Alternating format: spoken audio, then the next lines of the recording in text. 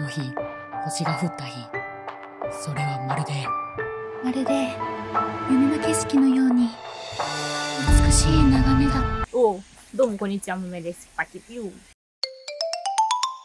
今日はですね、組紐作り体験ができるということなので、滋賀県の大津市に来ています。前回やったシーガリズムという旅の提案をしているところからあの申し込みができるんですけど、組紐って君の名はでしかあの聞いたことなかったんですよ。それから知って組紐というのを。で「君の名は」の主人公の三葉いるじゃないですか。作ってたじゃないですか。なんかシーンで。なので今回は三葉がどんだけ器用なのか。そして私は三葉になれるのか、えー今日はそれを、えー検証していきたいと思います。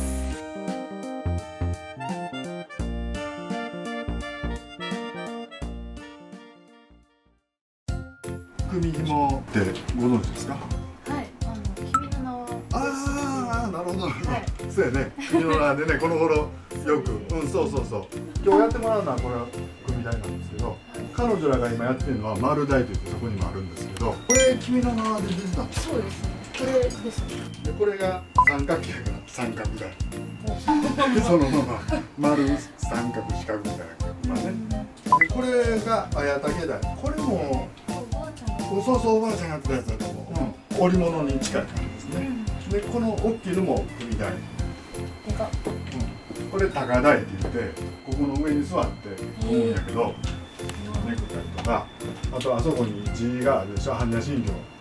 あのああいう字とかこの絵とかああいうのもこの台で模様がつけてる。すごい。こっちにあるのが内気台って言ってちょっと珍しい。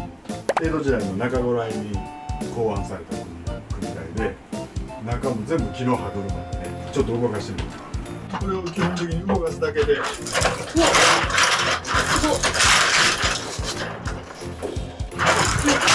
これが上が組紐手でやらへんのやそうそうもうこれだけでどんどんどんどんそれを入れてあげなこれえああはい高瀬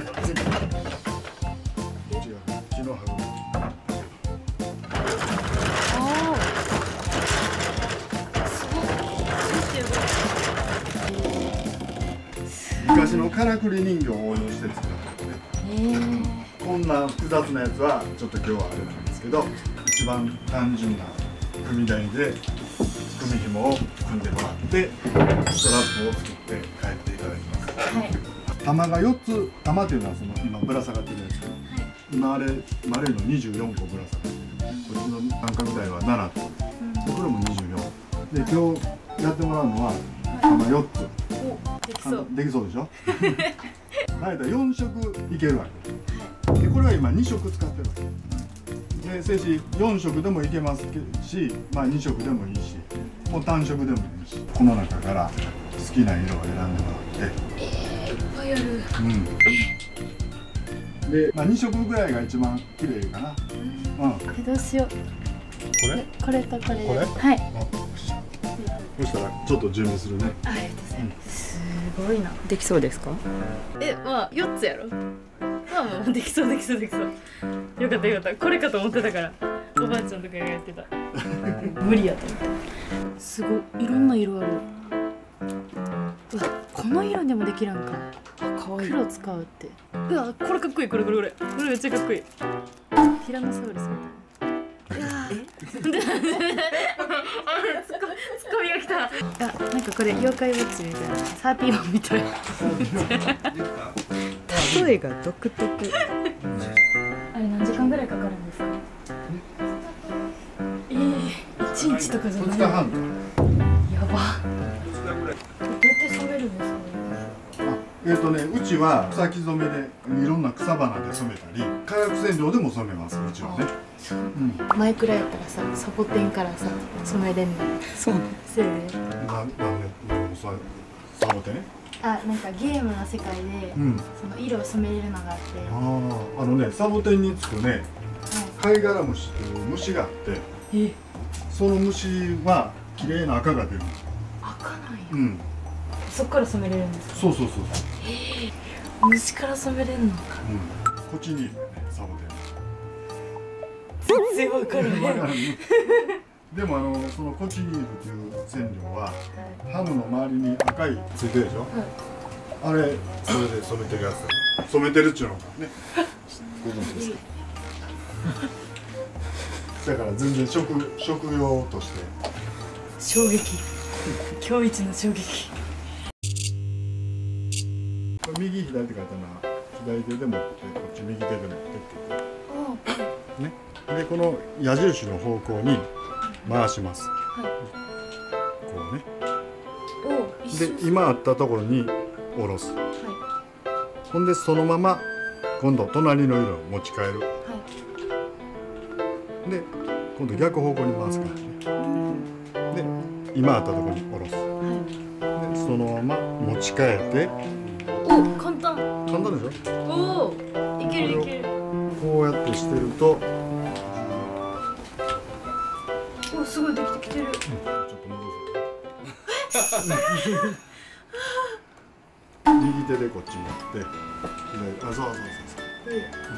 し。てそこまで。うんそうそうそう。でおそうそうそう。そこまで。うんでそのままおいいね。おおああであ今そうそうそうそうどうえっ、と今あのな左手でそうそうそうそうそうあす。ごいわからなくなるそうそうそうそう、うん、そのまま。おおカチンってなる音やつね麻雀のあれみたいな。木と木がぶつかり合う音がそうそう。いいよねいい音する。でしょめっちゃいい音。な右手で。うんそうそうそうおいしいおいしそこまで、うん、うまいねえおもろいこれめっちゃうまいやん。えー、お手つきいいよほん。まにこれがあの四つ組って言って、まあ、組の中では一番基本的な組一番簡単うん。簡単やけど綺麗に組むのは難しいあらが目立つあうん。でだん。だん。短くなってきたら、はいそうそうそうへえであんまり下ろしすぎたらやりにくいしそれぐらいにして同じ長さこうこう腕かな。逆そうそうそうで次始めるのどっから始めるか分かった。よしよしよしよし。これ楽しいぞめちゃくちゃ。あるんちゃうかな。ほんまに三つ編みもあれ編みって言うけどほんまあれも組組なんですか？組紐と、うん、同じ。おお三つ組っていうのは言わなあかうんじゃあ三つ組って言ったら次から。昔さミサミシあミサンがね。流行ってて。ミサンガもあれも組紐やからねじゃああれは組紐か。えこんなすぐできんのや。まあこれが一番簡単やからすぐできるやろうけど無心でできるなこれめっちゃいい。ストレス発散にですよ。ボケ防止にまだ早いすごいもうこんだけで。きうん。た、早っ。柄がねまっすぐなってるでしょ。は力が均等にならへんかったらこうひねれてくるのいへえ、まっすぐなってるということは力が均等に入ってるということだから。器用もしかして自分 たまりそう。メイクセンマジこと最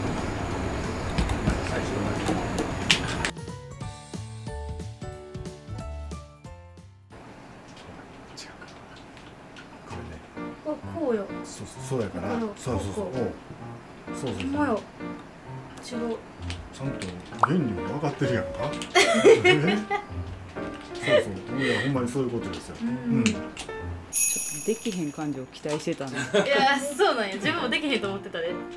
でも分かりやすく書いてくれてるし一番簡単なやつで。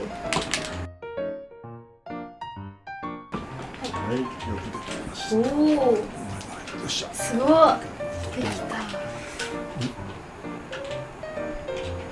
すごいめっちゃちょっと意外とできてたことにびっくりなの。綺麗も紐の仕組みをなんか理解してるところが、うん。ううん。いやびっくり。びっくりした。もともと興味があったから組紐に来てよかった。ほん全学校でさ教えてもらえへんから名前だけやもんだってそれもねオレンジうわすごい。ありがとうございますちゃったよ自分。うい。すごい。うまくできてるやった。ど、うん、よしそれをそしたらあれに仕上げていきましょう。はい。可能結びって言ってね。はい。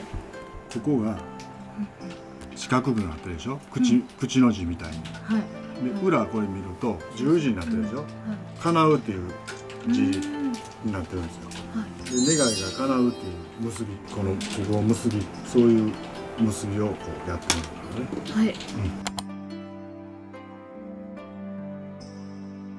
あの均等に引っ張っていくとできます、おお裏がペケで口おお綺麗。うん。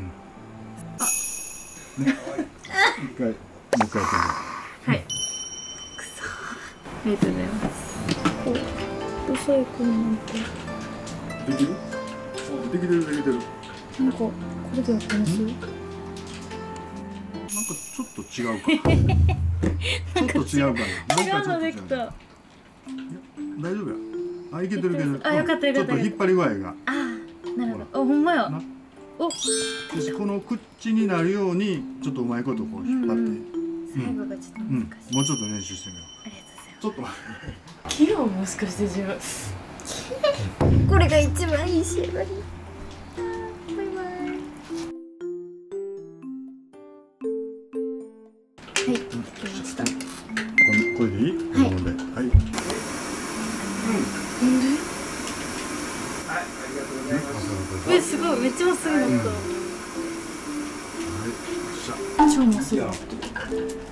はい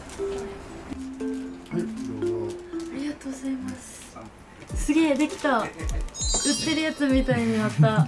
自分が作ったやつ。すごい。かっこいい。組むのが早かったからそのこれもすんのも早いしめっちゃ時間早いからなんえ2時ぐらいやったっけ？かね。え1時間経ってんの？一大体1時間半から2時間ぐらいえー、このこのそうですはい組紐はい。大体今の1時よし首紐少女になるから。ちょっとかっこよくない？着物着てこっ着物ってね。ちシガリズムすごい。少女で一応こんな感じになります。はい、あはい。りがとうございます。番組がない。もうやっぱり器用なんやろね。うん。絶対器用やと思う。えー、嬉しい。今まで不器用やと思ってた。経験者みたいな。前世そうやったかもしれないもしかしたら。うまいな。昔前世組紐やってたか っこいい前世いつも不器用やって結構バカにされてたかそうバカにさられてたから。え今日誰かと入れ替わってる？もしかして。これ自分じゃない。え誰？えーということで今回は三葉も器用で私も器用で、えー、三葉になれたということで。皆さんもぜひ簡単やしめっちゃ丁寧にあの教えてもらえるんでぜひ体験してみてください。概要欄にシガリズム体験の URL を貼ってるのでもしよかったら皆さんチェックしてみてください。ということで今日の動画はここまでにしたいと思います。皆さん見てくださってありがとうございました。バイバーイ。バイバイ。ありがとうございました